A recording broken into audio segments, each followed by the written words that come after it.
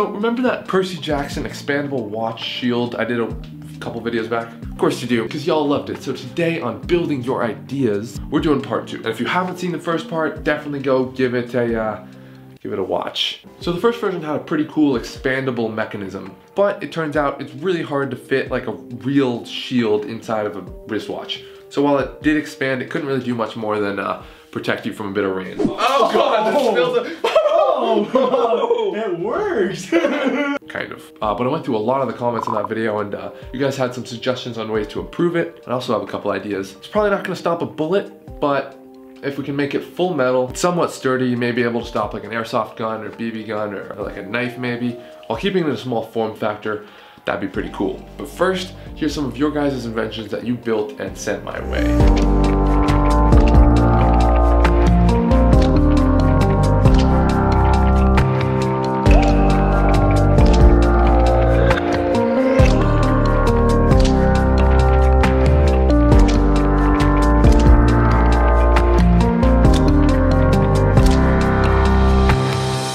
Doing this segment, guys. Definitely send me your inventions if you made anything cool. DM me on Instagram at JLaservideo. I like doing this in every video. Hopefully it's maybe inspiring some people to go out and make some stuff. Last thing, remember to comment your ideas down in the description for what projects I should make next. Say this in every video. The whole series is based on your ideas building your ideas. Make sure to let me know if there's something you want to see get made. All right, on to the shield. So in the last video, I actually made two versions. The first of which was in fact a metal one. I used a metal like flasher design that NASA's actually researching for use in space. The reason I originally scrapped that design is because it doesn't really hold its shape. Because it has to roll up, it's super flimsy, it's really hard to get to expand without some sort of like mechanism. But I think I have an idea on how to do that. First, I did a little bit of research on this flasher device that NASA's using. There's actually ways to represent this mathematically, accounting for the thickness of the material to make sure it all rolls up correctly. So first started out with a couple paper versions of this flasher uh, to try and get it as small as possible. Tiny form factor, expands out, to a giant shield. Not bad, but as you can see,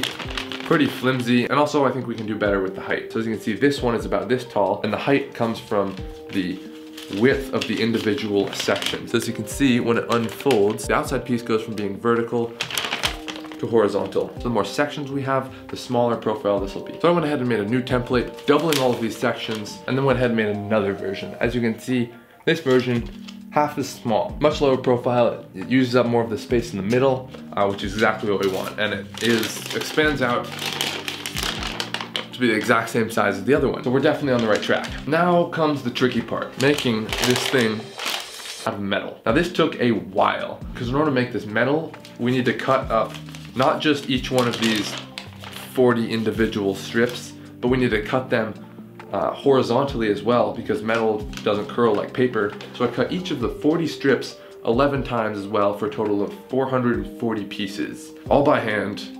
Hammered them out flat, this hand right here. Yeah, it took days. If that effort doesn't deserve a like, then I, I don't know what does. This is where I really wish I had like a laser, like plasma cutter or something. Like it's my name, they gotta give me some sort of discount. Anyways, I attached all the pieces together using some super thin nylon slash packing tape adhesive. And we now have a metal folding shield. Form factor is a bit bigger than the last shield watch, but as you can see, almost all of the space is accounted for by metal. Like there's not much air except for the center, but we need that. So if we want to use metal material with any sort of strength, this is sort of the form factor that I have to go with. So I'm happy with this for now. Also, I did have to cut out like the middle section of the flasher, like this area, because the further in you go, the more the material has to curve and the metal just wasn't gonna work like that. But don't worry, I have a plan of how we can fill that in. So now we have the metal flasher and now we need a way to make it both rigid and expand. And after thinking, I remembered messing around briefly. I don't know if it ever made it into a video, but uh, I was messing around with this thing called the Hoberman Sphere. You've probably seen one of these. They're those expanding toy balls. Pretty cool, and I think it could be useful in this application. There's also formulas to create these spheres or circles. So I went ahead and made one that corresponded with the shield. When collapsed, it would fit in the form factor of the collapsed shield, and expanded, it would uh, be able to expand with the shield. So now I guess we have to cut out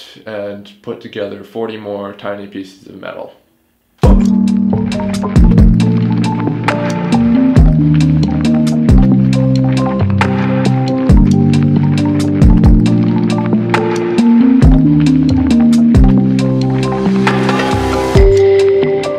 Pretty cool though. As you can see, it folds up super small, and when you pull it out, expands out.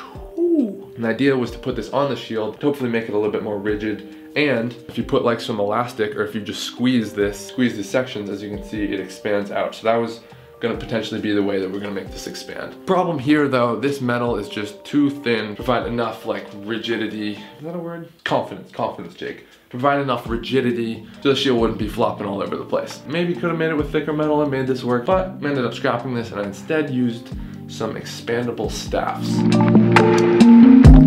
You might remember these expandable staffs from the Percy Jackson sword video I did. If you haven't seen it, definitely gotta watch it after this. Basically, it's like a telescopic spring metal staff thing that folds up to a super tiny form factor. Uh, but when they're expanded out, pretty sturdy. So I cut one up into four sections and then 3D printed a piece so that uh, four of them stick out and expand out from the center. If we combine this with the metal shield, it should give it support so it's not flopping around anywhere and be able to spring it open at the same time. Now lastly, we have to make a release mechanism. So how are we gonna activate all this stuff? For this, I cut out some strips of metal that fit vertically around the entire device. And all have wires that attach to a center point in the middle. And we have a pin in the middle, so when that is pulled out, metal drops down, everything sort of explodes open, and uh, it all comes rushing out. Last step, throw a strap on it, and that is how to make a full metal expandable shield. So here's the watch. Now I know what you're thinking, is a thick one.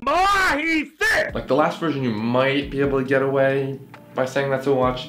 This one, people will know. But it is still a much smaller form factor than a regular shield. I don't know what you'd use this for, but it's not like uncomfortable to wear. It doesn't really get in the way. Reach for something, it's not really getting in the way. Plus the expandable mechanism is pretty cool. As you can see, there's not a lot of uh, space left that's not metal. So maybe you could make it a little bit smaller, but uh, I'm still pretty proud of this thing. So let me show you how it works. So as I said, we've got the uh, spiral out metal flasher thing on top.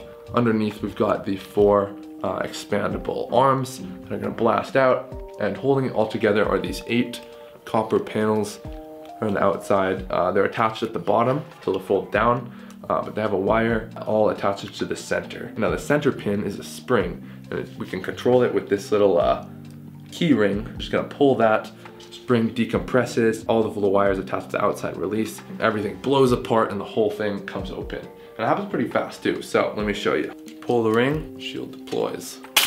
Oh, yeah, baby. Huh? Full metal.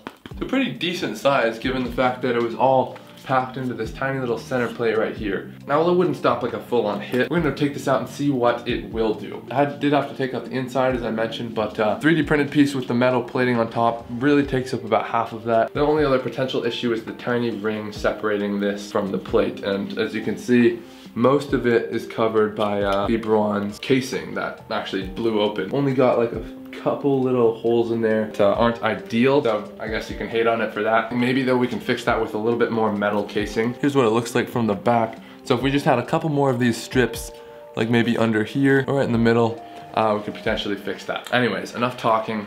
Let's go test this thing out, see what it can do.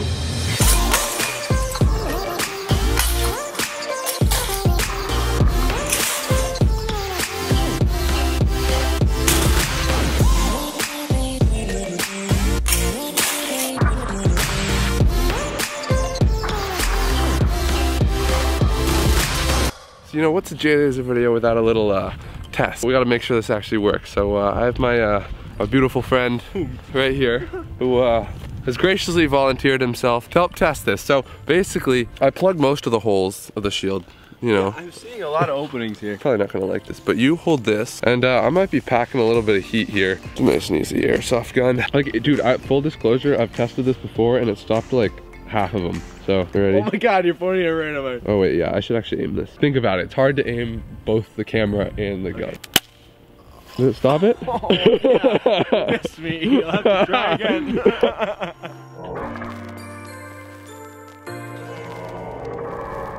Alright, take two.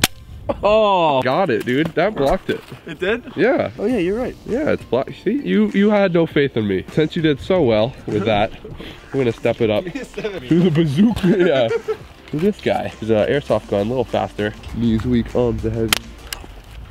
you keep. No, I know. Did uh, it? Where'd that go? Dude, know. right there. Boom. Right in there. A little, little dent, a little dentski. All right, do All it right. again.